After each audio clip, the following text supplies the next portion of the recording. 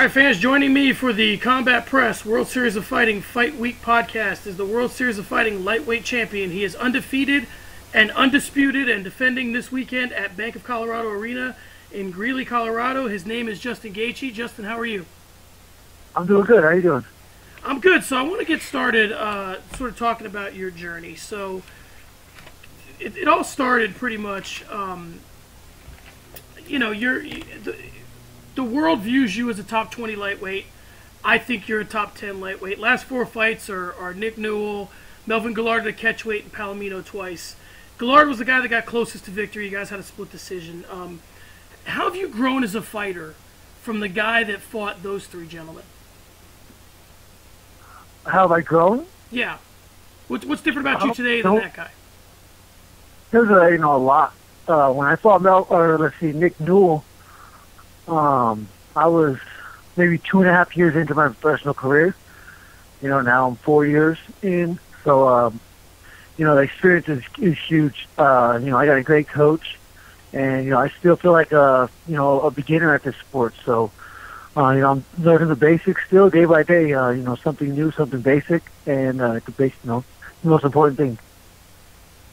How excited are you? We've talked about this before, but how excited are you that the name uh, after Justin Gaethje verse is not Luis Palomino?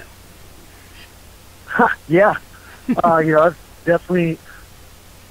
You know, I need a new challenge. Um, the sport is definitely uh, emotional, and you know, when you fight the same person over and over, it's definitely different type of emotions and diff- kind of different, uh, kind of harder to get, you know, pumped up, especially after I already TKO'd him twice. It'd be a, really hard to get pumped up, but you'd still be just as dangerous the third fight. Yeah, and, and, and, listen, all due respect to Luis Palomino, I mean, you guys put on two of the best fights in the history of World Series of Fighting. So, but you know, I, like you said at the time, uh, and we'll talk about this here. Uh, you were in attendance at World Series of Fighting 25. Um, we talked a little bit before that about how you know you're the man of the hour and you're not even fighting. So, what was it like being at World Series of 25? Was it kind of surreal? Yeah, it was good. You know, I had a great seat. Um, I was a little jealous of the guys in the tournament. You know, three times in one night. It seems it sounds really fun. It's probably not that fun, but you know, when I get in that mind, you know, the mindset of this week, you know, something like that sounds appealing to me. But yeah, I was definitely glad. Uh, you know, I got to be front row and get a good view. Uh, yeah, you know, good fights. You know, Zeferino and Paul, you know, both rocked Foster. He hits like a truck, but you know, I don't know if he's ever had a knockout. He's rocking Foster, so I'm definitely planning on putting my hands on him. I know he's only been knocked out once, so I have a, a big goal, and that's to knock him out. All right, let's get right to Brian Foster then. He's he's he's your guy. Um, where do you? I asked him this as well. Where do you stand with him personally? I mean, is there real beef there? Obviously, the whole chill down your spine comment. You guys were jawing a little bit in the when he was in the cage after he knocked out Palomino. So, um, where do you stand with him personally? Is there beef? Uh, no, not really. I mean, the only reason I was so mad at the fight is because I had my sister and my girlfriend and my mom sitting next to me, so I really wish you would just be a little bit more respectful in that sense. But, I mean, I'm right by the cage and he's fighting, so I don't blame him one bit. But, um, no, I mean, nothing personal. I'm actually happy to be fighting him. Um, you know, I think he's aggressive, uh, hits hard, has a great mindset for the fighting. And uh, you know, I've been waiting for a day someone to come in there and match my intensity. So I'm hoping that he's the man. You know, it's interesting that the, the World Series of Fighting is, is in a weird spot because they're they're they're one of the big three. I mean, that's without a doubt. But you know, it's it's difficult sometimes to to, to get promotion uh, excited for some of these fights. I mean, you guys had a good string of cards there, a couple in Phoenix where where everybody's excited about them. But I got to tell you, Justin, this is the most anticipated fight in my eyes in the history of World Series of Fighting. Do you agree? Absolutely. Um, you know, with my fight style, every single card that I headline will be it will be that case uh, up to that point. Um, as long as, especially if I got an opponent like Brian Foster who's game to fight. So yeah, I mean, um, that's what I, you know, I don't have the gift of gab per se, so I have one way to bring fans to my uh, on my side, and that's to, to fight my hardest to put it all on the line. And you talked about this a little bit ago, uh, uh, just briefly. Let's touch on it a little bit further. Just when you think of Brian Foster as a fighter, what what do you what comes to mind? Um, experience. He's got a lot of experience. He's been uh, fought some huge names. if you look at his record, you know he's He's been in there with some of the best, beat some of the best. So um, hasn't been knocked out much. So that's that's what I look at. You know, I really, really want to finish him with the knockout. Do you think that you can employ a similar strategy? Because you and I have talked in the past, uh, and and I'm sure everybody that tells this to you is probably uh, blue in the face and telling it to you. But you know you're undefeated, so it, it's hard to tell a guy who's undefeated um, he takes too much damage. He shouldn't leave himself as open because it works. So um, can yeah. you fight Foster the way you fought everyone previous to Foster? Yes. Um, you know, it, I mean, I've been I've been cut once, and that was not even on television. You guys have never seen me be cut before, so I'm obviously not getting hit that hard. Um, I I I mean, I'm in a fight. Plain and simple, it's a fight. I mean, you have to get hit. Um, but the shots that you do get hit with, you know, those are the. If you're gonna eat them, you know, there's different ways to do that. You can't be at the end of the punch. You it's way better to meet them, you know, halfway through their punch. That way, they're not getting full extension on their punch. They're not even able to turn their punch over yet by the time they're hitting me, because I'm I'm pretty much meeting it halfway. Um, I'm meeting it with my forehead. Uh, yeah, I mean, if I'm going to get hit, it's going to be on the forehead, but I'm not going to get hit on the chin. I'm not going to get hit on the temple. I'm not going to sit there and eat those shots willingly. Um, you know, I haven't got hit on the chin yet. Palomino hit me in the neck. I don't know if it cut my blood off or something. It was something different that I've never felt, but you know, I can't worry about that. It's a one punch. Everybody has that, and especially Brian. You know, he has that one punch. So I'm not going to go in there and be scared. I'm not scared to get knocked out. I'm not scared to get knocked out. I'm not scared to lose. Um, I am scared to go out there and not perform to my best to the best of my ability. So that's all I can control is the preparation and the way I, my output in the fight and that's the thing, and I, am guilty of, of, this as anybody. And, and, like you said, sort of talking about that. I mean, you know better than anybody else what kind of punishment you're taking. You know better than anybody else how you're getting hit, where you're getting hit. So you know, I think that that one of the things that, and like I said, I'm as guilty as anybody of, of not giving you full credit for having a, a, complete idea of what you're dealing with. So I, I again, you, you, you, got you know you're the champion, you're undefeated. So who can question it? Yeah, um, I mean, I, the, the, the definition of rolling with the punches. I mean, that's that there is something to that. There is a way to roll with the punches. Take, you know, either meet it or or roll with it. So, you know, that's what I I feel like I'm good at, and I practice. And you know, if they are in within striking distance, then I can definitely punch them as well. And so, you know, and I feel like I hit very hard. And uh, if I can time it correctly and punch someone and hit them on the right in the right spot, they they're gonna go to sleep. Yeah, and that's and that seems to be uh, you know in and this is by no means because I watched the Guillard fight sort of in, in, in preparation and, and Justin, you're such a different fighter when in the second Palomino fight than in the Guillard fight. I mean, you were. And do you think that was a, even a split decision? No, but I, I don't. But, but what I'm saying is just watching you. I mean, you were throwing some haymakers in that fight, and and you're just a lot cleaner now than you. That that I think is the difference between you and Foster. Foster, because of the experience, his striking may be a, a little cleaner. Not that it's drastically cleaner, you know, um, but you got way more power. So I think that is that kind of the path to victory. You want to get him into a dogfight, and then just you like your chances.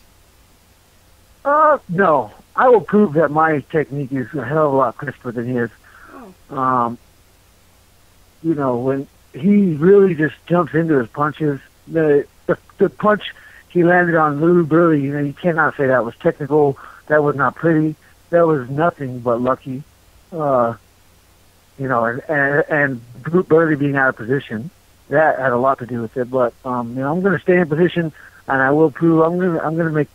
My plan is to make him look bad. You know, whether he gets lucky or not and hits me, like I said, I'm not scared of that. But I know that I am better. Uh, on my feet, you know, when I lock him, he's going to try to wrestle, and hopefully I throw a knee right up the middle and just take his head off. This is, and like I said, I, I can't. I, I, wish that I could go knocking on doors, Justin, to talk to people about this fight because I've talked to the both of you. Um, honestly, within minutes, I talked to Brian just not 15 minutes ago. Nice, yeah. Hey, I'm, I'm, I know he's confident right now, so that's that's perfect. I, like I said, I, I'm waiting. Every single person in there gets in there and is confident. They've never felt my pressure. He's going to go backwards. Um, you know, I'm going to kick his legs, and he's going to throw that right hand. So we'll see. I no, but what I what I mean is, and I, I completely don't don't disagree that you that you're looking to do that. What I what I mean is, this is the definition of a kill or be killed fight. You guys both have the exact same game plan. You both think you can execute it in the terms of like you both think that you're going to knock the other out, and that's that's amazing. That's an amazing fight to be to be waiting on. And because a lot of guys say that, and it's an easy thing to say, the, the fact that both of you are willing to get knocked out in the process of knocking the other guy out is what's gonna is really why people need to tune into this fight. You guys are plugged in. You're both at, at the absolute peaks of your career, and uh, and you you guys are ready to go. Um, okay, T- talk to Yes, me. sir. If you're trying to make money, there's only one way to fight. That's true. That's So true. I mean, look at the numbers. Um, fuck. I mean, I, I'm getting paid more than fucking Miesha Tate just got paid. It's fucking ridiculous. Yeah, that's. I mean, that's because you know, and you can't argue with the fact that you put asses in seats. Just there's, there's no arguing it. Um, t- talk to me about what being a champion means to you. What does that belt mean? You know, in the grand scheme of things, you know, it, right now it does not mean that much to me. Uh, to be honest with you, I, I could care less. That that belt since I got it, the first one I gave to my parents, never had that one. The second one has been in the briefcase, sitting in the room, um, sitting in my spare bedroom. So, you know, I I don't care. I, I want to be the best. I want to fight. I want to get paid. Um, and as long as you know, right now I'm the best in the world series of fighting at lightweight. Um, and I'm ready for all challenges. So you know, I'm ready to. I just like to. I'm. I like to show off, man. I like to get in there. I like to show my skills to the world. And I've been working hard. My preparation has been money. So uh, you know, I feel like I'm ready. And I feel like the only chance he has is to get lucky. Do you think that, that the, the way that you view the belt helps you? Do you think that it's because the belt, you know, BJ Penn wrote a book and he said, you know, he fights, there's a reason why he fights and the belt is just an accessory. Uh, are, do you feel that way? Do you feel like if you start taking the belt too seriously, it, it clouds what you're in this for? Oh, maybe. Or you know, you know, having the belt means you are the best. Um, you know, I feel like I am the best, but I don't feel like I have take put the time into the sport to be the best yet. So, you know, I think that if I was to even ponder the fact and and really buy into the the notion that I am the best and nobody can touch me, then you know you're just being foolish. Because I'll say it repeatedly: it takes one punch. Um, you know, so I know it sells sells tickets, but I just don't think I'll ever be willing to take that route. I agree. So, so and talk. Go ahead. yeah, No, go ahead. no, no, I don't know. Yeah, that's good. So talk, talk to me then about what what do you fight for? What is the thing that, that gets you into the cage, eh, like in your soul? What is it that, that makes you a fighter? Um, yeah, I mean, I don't know. I have, I've never experienced another mindset. Uh, from uh, the day that I was four years old, I've been wrestling every year. Um, those are one-on-one competitions. Those are pretty similar settings to when I walk into that cage. It's a pretty similar setting to walking onto the mat, shaking hands, and the ref blowing the whistle. You know, so I'm, I'm ready for that. Uh, been getting ready for that since I was four.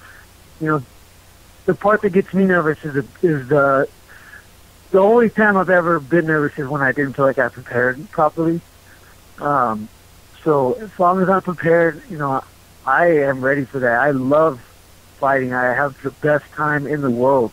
You know, I have so much fun. You'll see if I make it in between rounds, there's probably a smile on my face. You know, I don't even remember the talking in between rounds because I don't remember the whole fight. You know, I don't know what it is, but I'm just, I just love it. I I love the experience, and you know, I, I don't know. I have no thought process because I prepared for it my whole life.